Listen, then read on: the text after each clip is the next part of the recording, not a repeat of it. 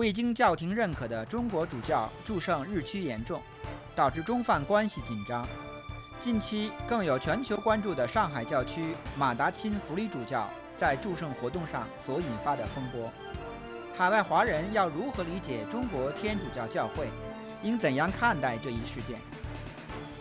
教会透视以正确的教会训导，为你分析中国内地的祝圣事件。严宇光电视特备中文节目，二零一二年中国上海主教祝圣事件，八月二十一日星期二东岸时间早上九点首播。